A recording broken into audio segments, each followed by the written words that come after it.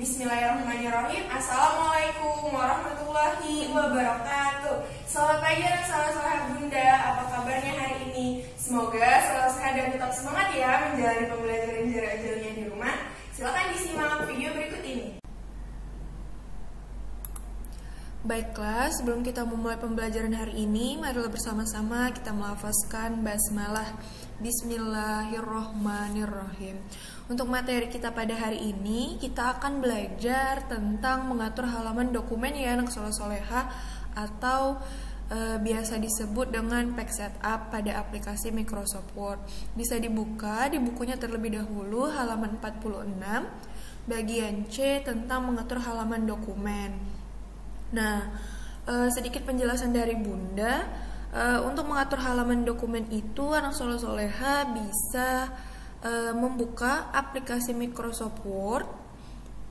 Kemudian pada tab Page Layout terdapat Group Page Setup. Uh, di sini ada icon margin, icon orientation, icon size, dan icon column ya. Nah, icon margin ini berfungsi untuk mengatur batas tepi menulis, sedangkan icon orientation e, berfungsi untuk mengatur arah kertas.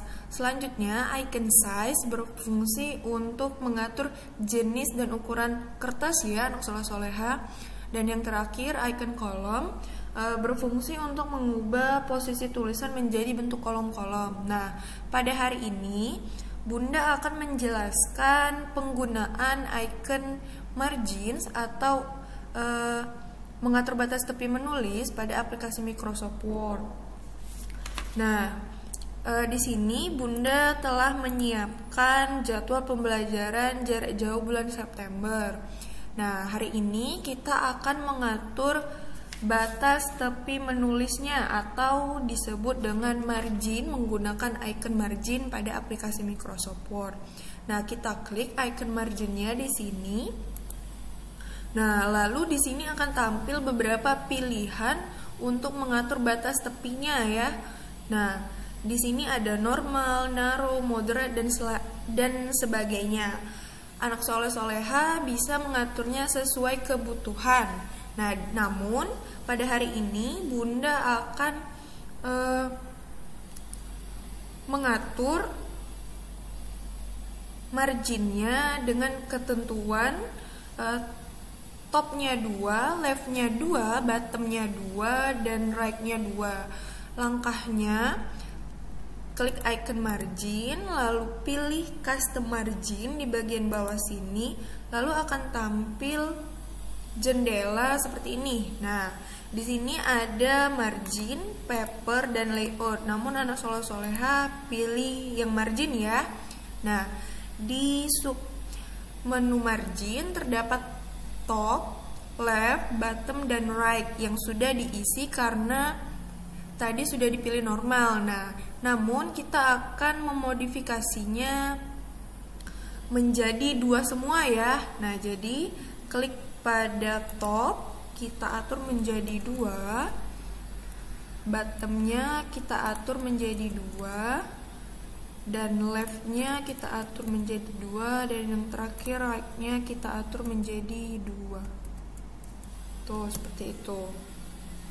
Jadi batas tepi atasnya 2 cm batas tepi bawahnya 2 cm batas tepi kirinya 2 cm dan batas tepi kanannya 2 cm ya anak soleh soleha selanjutnya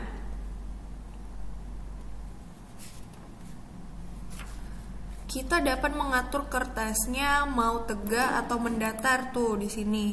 Namun pada uh, jadwal pembelajaran jarak jauh bulan September ini akan bunda atur tegak ya anak soleh soleha. Nah selanjutnya anak soleh soleha bisa klik tombol OK di sini. Lalu eh, pengaturan margin pada file jadwal pembelajaran jarak jauh bulan Septembernya akan berubah. Kita klik OK. Tuh, maka akan tampil seperti ini. Ya. Nanti anak soleh soleha bisa atur marginnya menjadi dua semua ya pada latihan yang minggu lalu mengenai membuat cerita selama melakukan pembelajaran jarak jauh di rumah. Nanti difotokan ketika anak soleh soleha membuka tampilan marginnya ya. Nih, klik icon margin, lalu pilih custom margin. Nah, lalu diatur top 2, bottom 2, left 2, right 2. Nah, nanti difoto seperti ini ya. Ketika anak soleh soleha mengatur marginnya. Demikianlah materi pembelajaran kita pada hari ini. Marilah bersama-sama kita melafazkan hamdalah. Alhamdulillahirabbil alamin.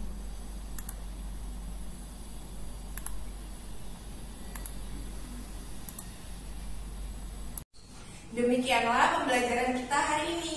Bunda akhiri, wassalamualaikum warahmatullahi wabarakatuh.